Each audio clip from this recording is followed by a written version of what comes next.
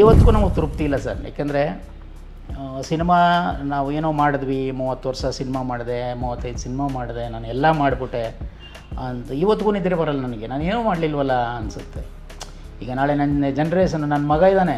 ಅವನಿಗೆ ಬುದ್ಧಿ ಬಂದು ಏನು ಒಂದು ಲೈಫ್ ಲಾಂಗ್ ಏನು ಮಾಡಿದೆ ನೀನು ಅಂತ ಕೇಳಿಬಿಟ್ರೆ ಆಮೇಲೆ ನಾನು ತುಂಬ ಬ್ಯುಸಿ ಇದ್ದಾಗಲೂ ಕೂಡ ಸಿನಿಮಾದಿಂದ ಏನೋ ಗಳಿಸಿ ಗಳಿಸಿ ಏನು ಕೋಟೆ ಕಟ್ಟಲಿಲ್ಲ ನಾನು. ಏಕೆಂದರೆ ಸಿನಿಮಾ ಸಂಪಾದನೆಯಲ್ಲೇ ನಾನು ಬದುಕಬೇಕು ಅಂತ ಅಂದ್ಕೊಳ್ಳೇ ಇಲ್ಲ ನಾನು. ಮಾ ಸಂಪಾದನೆ ಆದದ್ದೇನು ಮಾಡಿ ಈಗ ಏನಂದ್ರೆ ಸರ್ ಈಗ ಈ ನಮ್ಮ ವೃತ್ತಿ ಏನಿದೆ ಸರ್ ಹೊರ ಜಗತ್ತಿಗೆ ಬೇರೆ ಒಳಗಡೆ ಬೇರೆ ಇದು. ಇಲ್ಲಿ ತುಂಬ ಪೇಷನ್ಸ್ ಬೇಕು ಸರ್ ತುಂಬ ಪೇಸೆನ್ಸ್ ಬೇಕು. ಈಗ ಆಚೆ ನೋಡಿದವ್ರಿಗೆ ಸುಂದರವಾಗಿ ಕಾಣುತ್ತೆ ಏನೋ ಒಂದು ಒಂದು ಒಂದು ಭ್ರಮಾಲೋಕದಲ್ಲಿ ನಮ್ಮನ್ನು ನೋಡ್ತಾರೆ ಅವರು. ಬಟ್ ಇಲ್ಲಿ ಒಳಗಡೆ ಅದಿರಲ್ಲ ಯಾರು ಹಿಂದಿಲಿ ಸಿನಿಮಾ ಯಾವ್ದಾದ್ರು ದೊಡ್ಡ ಸಿನಿಮಾ ಫ್ಲಾಪ್ ಆಗ್ಬಿಟ್ರೆ ದೊಡ್ಡ ಬ್ಯಾನರ್ ಸಿನಿಮಾ ಫ್ಲಾಪ್ ಆಗ್ಬಿಟ್ರೆ ರಮೇಶ್ ಅರವಿಂದ್ ಯಾವಾಗಲೂ ಹೇಳೋರು ಸಾರ್ ಆ ಪ್ರೊಡ್ಯೂಸರ್ ನಿಮ್ಮ ಹತ್ರ ಬರ್ಬೋದು ನೋಡ್ಕೊಳ್ಳಿ ಸರ್. ಯಾಕೆಂದರೆ ಸೋತು ಬಂದವ್ರನ್ನ ಗೆಲ್ಸದ್ದೇ ಜಾಸ್ತಿ ಸರ್. ನಾನು ಆ ಸಕ್ಸಸ್ ಆ ಸಿನಿಮಾಕ್ಕೆ ಮಾತ್ರ ಆ ಸಕ್ಸಸ್ ಈ ಸಿನಿಮಾನ ಗೆಲ್ಸಲ್ಲ. ಹೌದು. ಆ ಹೆಂಗೆ ಹೊರಲಿಲ್ಲ ಯಾರು ಕೆಲಸ ಮಾಡೋದು ಬೇಡ ಅದು ಮರ್ತ್ಬಿಡೋಣ ಅದನ್ನ ಇದನ್ನು ಕೆಲಸ ಮಾಡೋಣ ಅಂತೇಳಿ ನಾನು ಅವ್ರನ್ನ ಮೋಟಿವೇಟ್ ಮಾಡಿ ಮೋಟಿವೇಟ್ ಮಾಡಿ ದುಡಿಸುವೆ. ಹೀಗಾಗಿ ಆ್ಯಕ್ಚುಲಿ ತುಂಬ ಗಮನ ಕೊಡಲೇ ಇಲ್ಲ ಸರ್ ಪರ್ಸ್ನಲ್ ಲೈಫ್ ಬಗ್ಗೆ. ಹೇಳಬೇಕು ಅಂದರೆ ಬರೀ ಸಿನಿಮಾ ಪರ್ಸ್ನಲ್ ಲೈಫಿನ ಕೆಲವು ಏರಿಳಿತಗಳು ನೋವುಗಳನ್ನೆಲ್ಲ ಅನುಭವಿಸಿಯೂ ಮತ್ತೆ ಬದುಕನ್ನು ಕಟ್ಕೊಂಡ್ರಿ ನೀವು. ಅದಕ್ಕೆ ಅದಕ್ಕೆ ಅಂದರೆ ನಾನು ಓವರಾಲ್ ಆಗಿ ಕೇಳ್ತಾ ಇರೋದು. ಅದಕ್ಕೆ ನಿಮ್ಮ ಸಿನಿಮಾ ನಿಷ್ಠೆ ನಿಮ್ಮ ಸಿನಿಮಾದ ನಿಷ್ಠೆ ಮತ್ತು ಬ್ಯುಸಿಯಲ್ಲಿ ಅದಕ್ಕೆ ಕಾನ್ಸಂಟ್ರೇಟ್ ಮಾಡದೇ ಇದ್ದದ್ದು ಈ ಥರದ್ದೆಲ್ಲ ಕಾರಣಗಳಿರ್ಬೋದು. ಇಲ್ಲ ಹಾಗೇನಿಲ್ಲ ಸರ್. ಅದೇನು ಬದುಕು ಲೈಫು ಎಲ್ಲ ಒಟ್ಟೊಟ್ಟಿಗೆ ಇರ್ತಿತ್ತು ಅದು ಅದೇನು ಆ ಥರದ್ದೇನು ಸಮಸ್ಯೆ ಇಲ್ಲ.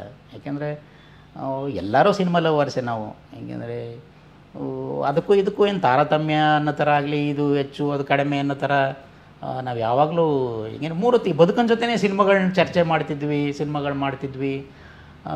ಹೀಗೆ ನಡ್ಕೊಂಡು ಬಂತು. ಆಮೇಲೆ ಅದು ಪಾಸಿಟಿವ್ ಆಗಿ ಒಂದಷ್ಟು ತುಂಬ ಸಕ್ಸಸ್ಗಳನ್ನೂ ನೋಡಿದ್ವಲ್ಲ ಹೌದು ಎರಡು ಎರಡು ಕ್ಷೇತ್ರದಲ್ಲಿ ನೋಡಿ ಖಂಡಿತ ಖಂಡಿತವಾಗಿ ಯಾಕೆಂದರೆ ಆ ದಿನಗಳಲ್ಲಿ ನಾವು ಏನೋ ಇನ್ನೊಂದಕ್ಕೆ ಇನ್ವಾಲ್ವ್ ಆಗಿ ಇಲ್ಲೆಲ್ಲೋ ರುಚಿಯಲ್ಲಿ ಸೋತು ಸೋತುಬಿಟ್ವಿ ಅನ್ನೋ ಥರದ್ದು ಇಲ್ಲ. ಆವಾಗಲೇ ಉಚ್ಛ್ರಾಯ ಸ್ಥಿತಿ. ಇದನ್ನು ಹಂಗೆ ನಿಭಾಯಿಸಿದ್ವಿ ಅದನ್ನು ಹಂಗೆ ನಿಭಾಯಿಸಿದ್ವಿ. ಈ ಹೋಗ್ತಾ ಹೋಗ್ತಾ ಹೋಗ್ತಾ ಏನು ಲೈಫು ಏನೇನೇನೇನೇನೇನೋ ಆಗ್ತದೆ. ಏರಿಳಿತಗಳು. ಏರಿಳಿತಗಳಿದ್ದೇ ಇರುತ್ತೆ. ಆಮೇಲೆ ಈ ಮೊದಲಿಂದನೂ ಕೂಡ ಸರ್, ಈಗ ಬೇರೆ ಯಾರಾದರೂ ಆದರೆ ಈ ಸಣ್ಣ ಪುಟ್ಟ ವಿಚಾರಗಳು ಅಥವಾ ಈ ದೊಡ್ಡದೇ ಆಗಿರಲಿ ಇನ್ನೊಂದಾಗಿರಲಿ ಅದನ್ನು ತುಂಬ ಇಲ್ಲಿಗೆ ಮುಗೀತು ಇಲ್ಲಿಗೆ ಮುಗೀತು ಅಂತ ಫೀಲ್ ಮಾಡೋದು ಬೇರೆ. ಬಟ್ ನಾನೊಬ್ಬ ಸಿನಿಮಾ ಡೈರೆಕ್ಟರ್ ನಾನೊಬ್ಬ ಕ್ರಿಯೇಟರ್ ನಾನು. ಒಂದಷ್ಟು ಸೃಷ್ಟಿ ಮಾಡಿದವನ್ನೆಲ್ಲ ವಿಚಾರಗಳನ್ನ ಆಮೇಲೆ ಯಾವುದೂ ಎಂಡಲ್ಲ ಯಾವುದೂ ಎಂಡಲ್ಲ ಆಮೇಲೆ ಈ ಡೆಸ್ಟಿನ್ ಇದೆಯಲ್ಲ ಈಗ ನಾನು ಎರಡು ಮನೆ ಹಳ್ಳಿಯಿಂದ ಇಲ್ಲಿವರೆಗೆ ಬಂದದ್ದು ಸುಮ್ಮನೆ ಏನಕ್ಕೋ ಒಂದು ಜೀವನ ಎಂಡ್ ಮಾಡಿಬಿಡೋಕ್ಕಲ್ಲ ಅಥವಾ ನನ್ನ ಕೈಲಿ ಆಗಲಿಲ್ಲ ಅಂತ ಸೋತು ನಿಂತ್ಕೊಳ್ಳೋಕ್ಕಲ್ಲ ಇನ್ನೊಂದಲ್ಲ. ಯಾಕೆ ಅಲ್ಲಿಂದ ತುಂಬ ಕನಸು ಕಟ್ಕೊಂಡು ಬಂದದ್ದು ಸಿನಿಮಾ. ಯಾಕೆ ನನಗೆ ತುಂಬ ದಿಗ್ಗಜರುಗಳು ಕಾಣ್ತಾರೆ. ಅವರು ಸೊ, ಇಡೀ ಇಂಡಿಯಾದಲ್ಲಿ ಒಂಚೂರು ಹಿಂದಕ್ಕೆ ಹೋಗಿ ನೋಡಿದ್ರೆ ಎಂತೆಂಥ ಡೈರೆಕ್ಟರ್ಸ್ಗಳು ಏನೇನು ಅಚೀವ್ ಮಾಡಿದ್ದಾರೆ. ಬಟ್ ಅವ್ರುಗಳು ಕಂಡ್ರೆ ಹೊರತು ಹೋಗ್ಬೇಕು, ಸಿನಿಮಾ ಮಾಡೋಣ ಸಿನಿಮಾ ಮಾಡೋಣ, ಸಿನಿಮಾ ನಾನು ಸಿನಿಮಾ ಲವರು ಸಿನಿಮಾ ಮಾಡೋಣ ಅನ್ನೋದಷ್ಟೇ. ಅವೇ ಇವತ್ತಿಗೂ ಮುಂದಕ್ಕೆ ಕರ್ಕೊಂಡು ಕರ್ಕೊಂಡು ಹೋಗ್ತಾ ಇದೆ ಹೊರತು. ಇವತ್ತಿಗೂ ನಮಗೆ ತೃಪ್ತಿ ಇಲ್ಲ ಸರ್. ಯಾಕೆಂದರೆ ಸಿನಿಮಾ ನಾವು ಏನೋ ಮಾಡಿದ್ವಿ, ಮೂವತ್ತು ವರ್ಷ ಸಿನಿಮಾ ಮಾಡಿದೆ, ಮೂವತ್ತೈದು ಸಿನಿಮಾ ಮಾಡಿದೆ, ನಾನು ಎಲ್ಲ ಮಾಡಿಬಿಟ್ಟೆ ಅಂತ ಇವತ್ತಿಗೂ ನಿದ್ರೆ ಬರಲ್ಲ ನನಗೆ. ನಾನು ಏನೂ ಮಾಡಲಿಲ್ವಲ್ಲ ಅನಿಸುತ್ತೆ. ಈಗ ನಾಳೆ ನನ್ನ ಜನ್ರೇಷನ್ ನನ್ನ ಮಗ ಇದ್ದಾನೆ. ಅವನಿಗೆ ಬುದ್ಧಿ ಬಂದು ಏನು, ಒಂದು ಲೈಫ್ ಲಾಂಗ್ ಏನು ಮಾಡಿದೆ ನೀನು ಅಂತ ಕೇಳಿಬಿಟ್ರೆ ಅದಕ್ಕೆ ಆನ್ಸರಬಲ್ ಆಗಿದೆಯಾ? ನಾನು ಮಾಡಿರೋ ಕೆಲಸ ಅನಿಸುತ್ತೆ ನನಗೆ. ಹಾಗಾಗಿ ನಾನು ಅಪ್ಡೇಟ್ ಆಗಬೇಕು ಅಪ್ಡೇಟ್ ಆಗಬೇಕು. ಸಿನಿಮಾ ಯಾವ ಹೋಗ್ತಿದೆ? ಹೋಗ್ಬೇಕು ನಾವು. ಸಿನಿಮಾ ಮಾಡಬೇಕು ಸಿನಿಮಾ ಮಾಡಬೇಕು ಅನ್ನೋದೊಂದು ತುಡಿತಾ ಇದೆ. ಖಂಡಿತವಾಗಿ ಆ ಪ್ರಯತ್ನಗಳನ್ನ ಇವತ್ತಿಗೂ ಮಾಡ್ತಿದ್ದೀನಿ. ಯಾಕೆಂದರೆ ಈಗ ಎಷ್ಟೋ ಸಾರಿ ಹೇಳ್ಬೋದು ಈಗ ಈಗ ಅಪ್ಡೇಟ್ ಅನ್ನೋದೇನೆಂದ್ರೆ ಸರ್, ಈಗ ಆ ಕಾಲಕ್ಕೆ ನಾವು ಸಿನಿಮಾ ಮಾಡೋ ಸಿನಿಮಾಗಳೆಲ್ಲ ಅಪ್ಡೇಟ್ ಸಿನಿಮಾಗಳೇ. ಆ ಕಾಲಮಾನಕ್ಕೆ. ಇವತ್ತು ಇಲ್ಲಿಂದ ನಿಂತ್ಕೊಂಡು ನೋಡಿದ್ರೆ ಅದು ಬೇರೆ ಥರ ಕಾಣ್ಬೋದು. ಬಟ್ ಆ ಕಾಲಕ್ಕೆ ಅಪ್ಡೇಟ್ ಅದು. ಈ ಮುಂದಕ್ಕೆ ಹೋಗ್ತಾ ಹೋಗ್ತಾ ಹೋಗ್ತಾ ನಾವು ಮಾಡ್ತಾನೆ ಹೋಗ್ಬೇಕಲ್ಲ?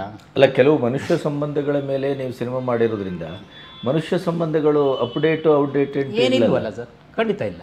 ಖಂಡಿತ ಇಲ್ಲ.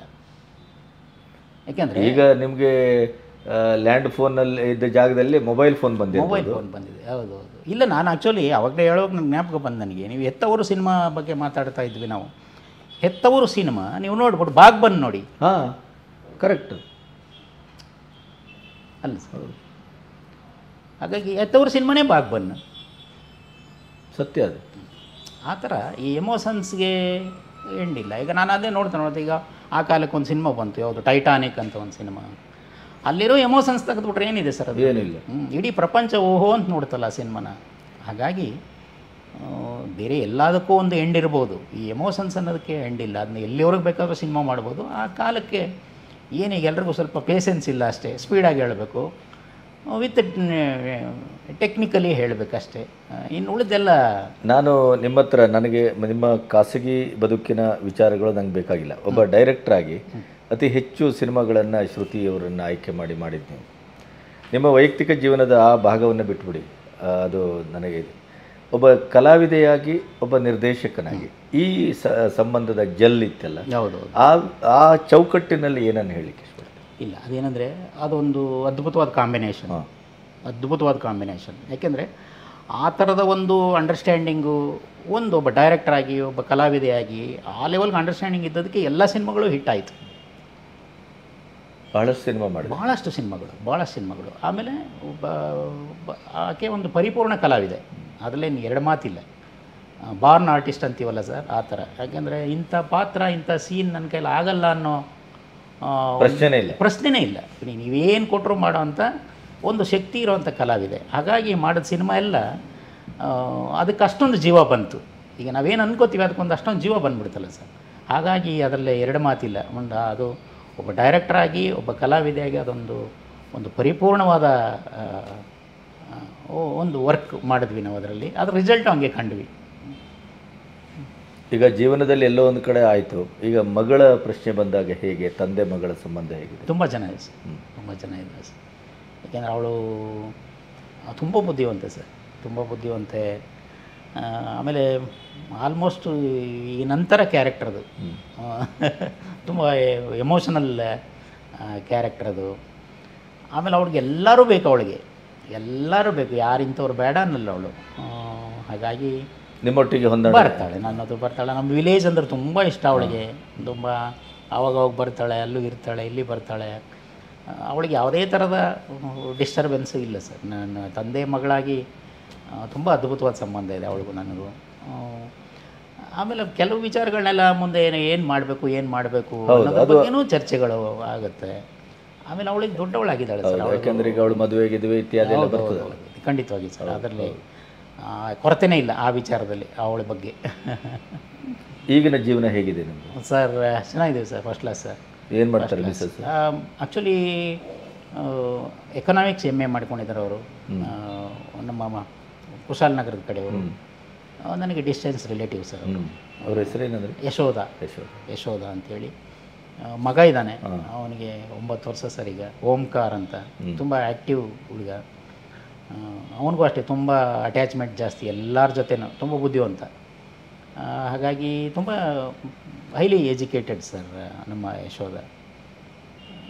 ತುಂಬ ಏನು ತೊಂದರೆನೇ ಇಲ್ಲ. ಈಗ ಸಿನಿಮಾ ವಿರಳ ಆಗಿದೆಯಲ್ಲ ಬದುಕಿನ ಕಥೆ ಸರ್ ಏನು ವಿರಳ ಅಂತೇನಿಲ್ಲ ನಾವು ತುಂಬ ಸರಳ ಜೀವಿಗಳು. ಆಮೇಲೆ ನನಗೊಂದಷ್ಟು ಊರ ಕಡೆ ಎಲ್ಲ ಎಲ್ಲ ಇದೆ ಸರ್. ಜಮೀನೆಲ್ಲ ಇದೆ ಎರಡು ಕಡೆ ಇದೆ. ಅದೆಲ್ಲ ಒಂದಷ್ಟೆಲ್ಲ ಅಲ್ಲಿಂದ ಏನೋ ಜೀವನಕ್ಕೆಲ್ಲ ಏನೇನು ಬೇಕು ಅದೆಲ್ಲ ತೊಂದರೆ ಇಲ್ಲ ಸರ್ ಆ ಥರ ತೊಂದರೆ ಇಲ್ಲ. ಆಮೇಲೆ ನಾನು ತುಂಬ ಬ್ಯುಸಿ ಇದ್ದಾಗಲೂ ಕೂಡ ಸಿನಿಮಾದಿಂದ ಏನೋ ಗಳಿಸಿ ಗಳಿಸಿ ಏನು ಕೋಟೆ ಕಟ್ಟಲಿಲ್ಲ ನಾನು. ಏಕೆಂದರೆ ಸಿನಿಮಾ ಸಂಪಾದನೆಯಲ್ಲೇ ನಾನು ಬದುಕಬೇಕು ಅಂತ ಆ, ಅನ್ಕೊಳ್ಳೇ ಇಲ್ಲ ನಾನು. ಮಾ ಸಂಪಾದನೆ ಆದದ್ದೇನು ಮಾಡಿ ಒಂದಷ್ಟೆಲ್ಲ ಇದ್ದೇ ಇರ್ತಿತ್ತು ಊರ ಕಡೆ ಅದು ಇದು ನಮ್ಮ ಇಲ್ಲಿ ಇದು ಅವೆಲ್ಲ ಇದ್ದೇ ಇರ್ತಿತ್ತು. ಯಾಕೆಂದರೆ ಆ ಥರ ಒಂದು ಸಿನಿಮಾದಲ್ಲಿ ಜೀವನ ಮಾಡಬೇಕು ಅನ್ನೋದಕ್ಕಿಂತನೂ ಜೀವನದಲ್ಲಿ ಸಿನಿಮಾ ಮಾಡಬೇಕು ಅಂದ್ಕೊಂಡೇ ಬಂದದ್ದು. ಏಕೆ ನನಗೆ ಬಂದಿದ್ದ ಅವಕಾಶಗಳನ್ನೆಲ್ಲ ಮಾಡಿದ್ರು ಒಂದು ನೂರು ಸಿನಿಮಾ ಆಗ್ತಿತ್ತು ಹೌದೌದು. ನಾನು ಸ್ವಲ್ಪ ಚೂಸಿ ಅವು ಮೊದಲಿಂದನೂ. ಈ ಸಿನಿಮಾ ಒಪ್ಪಿಕೊಂಡು ಇದು ಮುಗಿಯೋವರೆಗೂ ಇನ್ನೊಂದು ಮಾಡೋದು ಬೇಡ. ಅನ್ನೋದು ಅದು ಅಚ್ಚುಕಟ್ಟಾಗಿ ಅದು ಮಾಡಿಕೊಟ್ಟಾದ್ಮೇಲೆ ಯಾಕೆಂದರೆ ಪ್ರತಿ ಸಿನಿಮಾನು ಕೂಡ ನನ್ನ ಮೊದಲನೇ ಸಿನಿಮಾ ಅಂತಲೇ ಮಾಡೋದು. ಈಗ ನಾಳೆ ನನಗೊಂದು ಸಿನಿಮಾ ಬಂದರೆ ನನ್ನ ಫಸ್ಟ್ ಫಿಲ್ಮ್ ಅಷ್ಟೇ. ಅದ್ರ ಹಿಂದೆ ಯಾವ ಹೆಂಗವರು ಬೇಡ.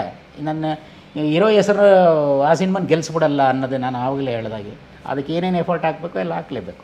ಹಾಗಾಗಿ ಒಂದು ಸಿನಿಮಾ ಆದಮೇಲೆ ಒಂದು ಸಿನಿಮಾ ಆದಮೇಲೆ ಆ ಸಿನಿಮಾಗಳು ಮಾಡ್ತಾನೆ ಬಂದದ್ದು. ಆಮೇಲೆ ನೀವು ನಂಬಲೇಬೇಕು. ನಾನು ಮೂವತ್ತೈದು ಸಿನಿಮಾಗಳನ್ನ ಒಂದು ಹತ್ತು ಜನ ಪ್ರೊಡ್ಯೂಸರ್ಸ್ಗೆ ಮಾಡಿರೋದು ನಾನು. ಹೌದು. ಒಬ್ಬೊಬ್ರಿಗೆ ಆರು ಏಳು ಸಿನಿಮಾಗಳು ಮಾಡಿದ್ದೀನಿ ಅವರ ನನ್ನ ಸಂಬಂಧ ಅಷ್ಟು ಚೆನ್ನಾಗಿದೆ ಸರ್. ಯಾಕೆಂದರೆ ನಿಮ್ಗೆ ಗೊತ್ತಿದೆ, ಒಂದು ಸಿನಿಮಾ ಮಾಡಿ ಮುಗಿಸಿ ಆಚೆ ಬರೋದ್ರೊಳಗೆ ಎಲ್ಲ ಕಿತ್ತಾಡ್ಕೋತೀವಿ.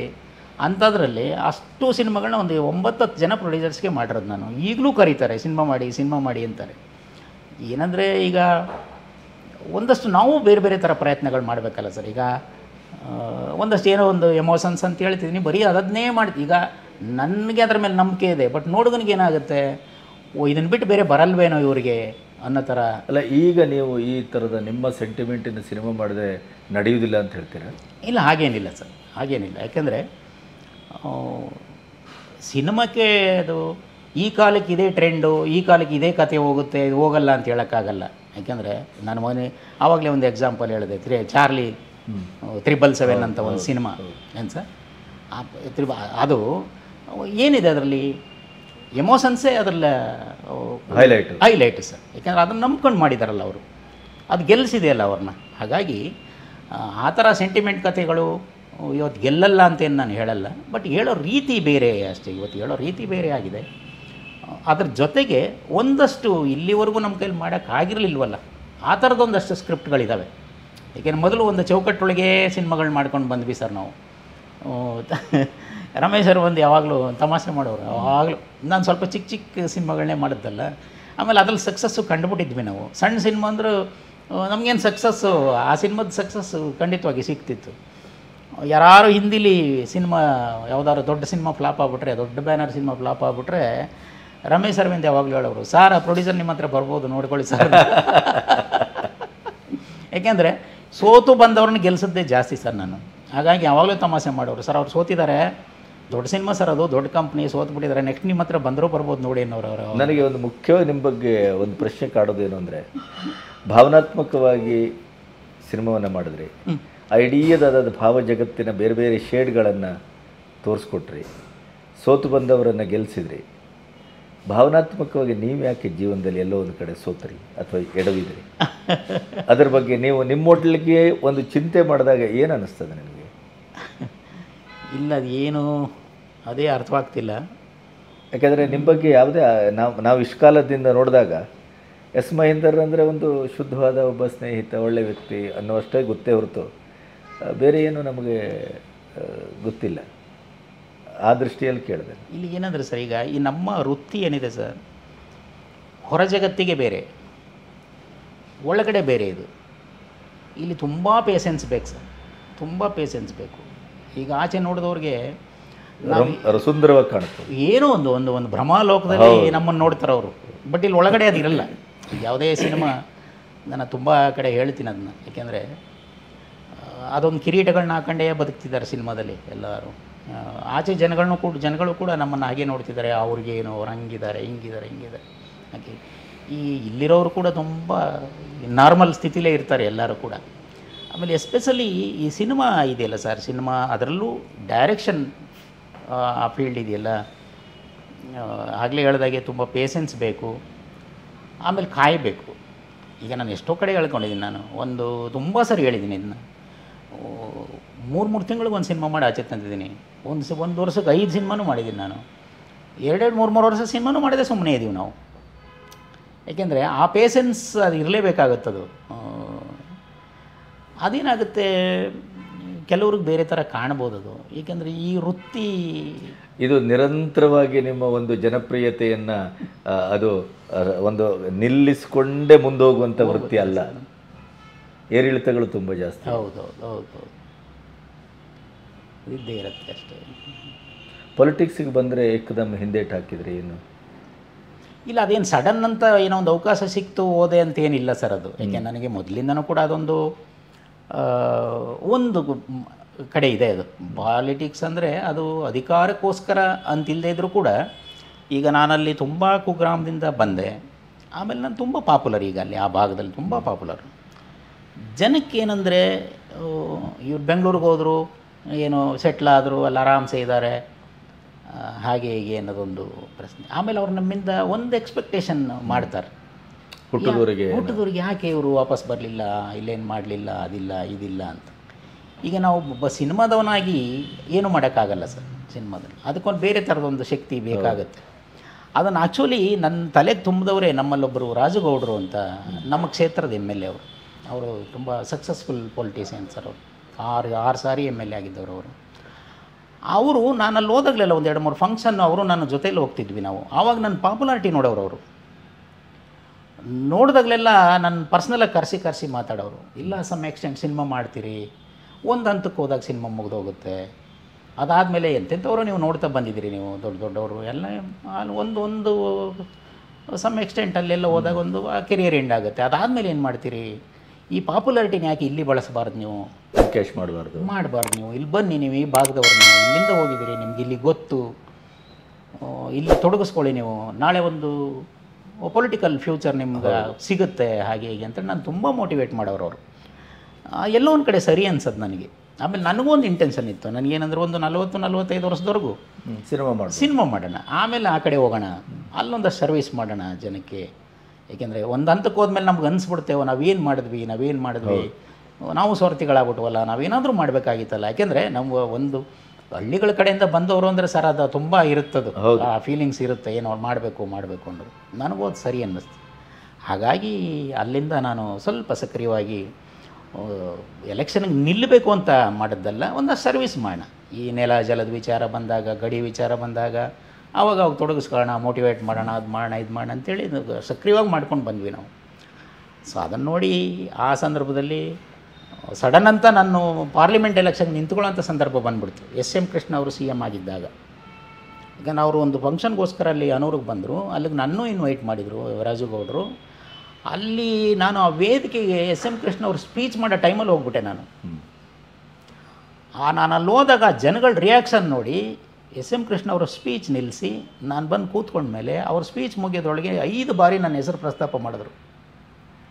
ಅದಾದಮೇಲೆ ಏನೇನೇನೇನೇನೋ ಟರ್ನ್ ತೊಗೋತು ತಂದು ಕರೆಸೇ ಬಿಟ್ರು ಒಂದು ಸಾರಿ ಪಾರ್ಲಿಮೆಂಟ್ ಟಿಕೆಟ್ ಕೊಡ್ತೀನಿ ನಿಂತ್ಕೋತೀರಾ ಅಂತ ಕೇಳಿಬಿಟ್ರು.